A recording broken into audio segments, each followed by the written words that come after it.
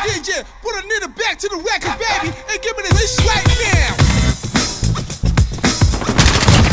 X-ray that.